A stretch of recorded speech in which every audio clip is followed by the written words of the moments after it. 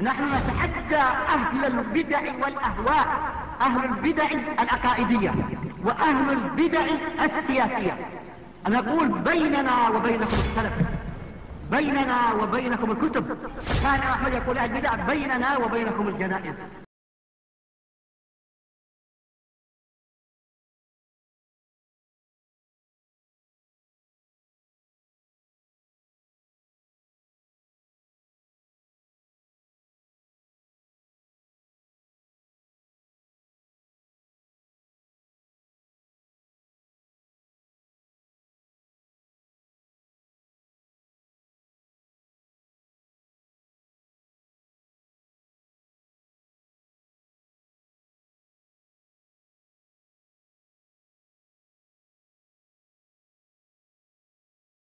You know, I, I, I'm more pro speech, free speech than any of this. I fully support the right of people to actually insult the prophet in the United States because I think that's the best regime for human happiness.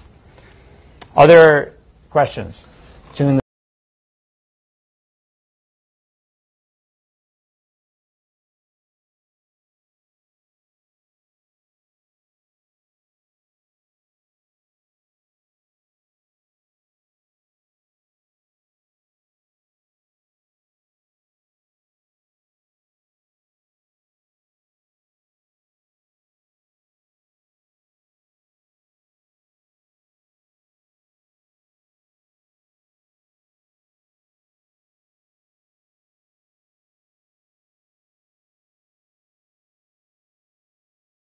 you know, I, I, I'm more pro speech, free speech than any of this. I fully support the right of people to actually insult the prophet in the United States because I think that's the best regime for human happiness. Other questions? June.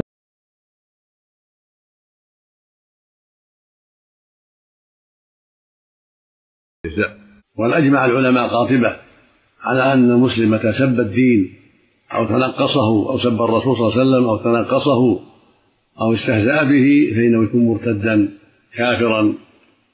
ولهذا كان الصحيح أن من سب الرسول عليه الصلاة والسلام فهو كافر مرتد. فإن تاب قبلنا توبته لكننا لا نرفع عنه القتل بل نقتله أخذا بحق رسول الله صلى الله عليه وسلم. وإذا قتلناه بعد توبته النصوح الصادقة صلينا عليه كسائر المسلمين الذين يتوبون من الكفر أو من المعاصي. ما الحكم في إنسان سب الله والعياذ بالله أو الرسول في الشريعة الإسلامية؟ حكمه أنه مرتد عن دين الإسلام وأنه يقتل ولا يستتاب. من سب الله أو سب الرسول صلى الله عليه وسلم فإنه يقتل ولا يستتاب لأن هذا أعظم الردة والعياذ بالله. قل بالله وآياته ورسوله كنتم تستهزئون لا تعتذروا قد كفرتم بعد إيمانكم. من سب الله ورسوله كفر ابتداء بدون أي ريب ولا شك وعليه أن يسلم من جديد ويجدد إسلامه. بإجماع المسلمين أن من سب الله ورسوله فهذا كفر.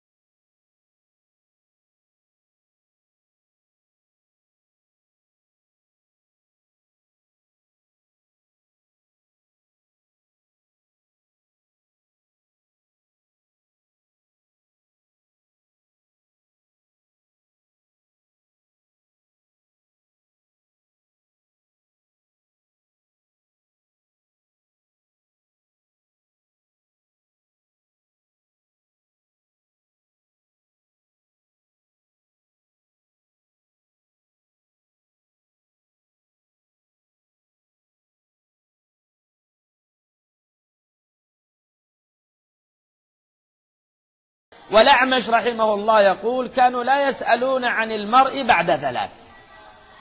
بعد ثلاث لا يسألون عنه. إذا أبصروا منه ثلاث أشياء. ممشاه ومدخله وإلفه من الناس. من يألف؟ مع من يمشي؟ مع من يذهب؟ مع من يأتي؟ خلاص يعرفونه. وقدم سفيان الثوري رحمه الله فيما يرويه يحيى بن سعيد القطان الإمام العلم يقول إن سفيان الثوري رحمه الله قدم البصرة يحيى بصري وسفيان الثوري كوفي رحمهم الله جميعا فيحيى بن سعيد القطان يحكي يقول لما قدم سفيان الثوري البصرة جعل ينظر إلى أمر الربيع يعني ابن صبيح السعدي. وقدره عند الناس. ينظر إلى الربيع ابن صبيح وإلى قدره إلى قدره عند الناس مكانته عند الناس. ثم سأل ما مذهبه؟ أي شيء مذهبه؟ فقالوا ما مذهبه إلا السنة. فسأل ثانيا قال من بطانته؟ قالوا أهل القدر. قال هو قدري.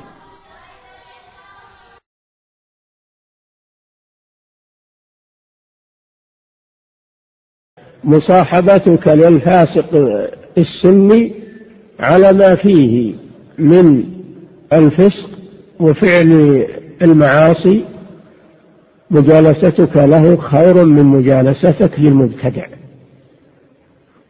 لأن العاصي يعرف أنه عاصي ويرجى أنه يتوب بخلاف المبتدع فإنه يعتقد أنه على حق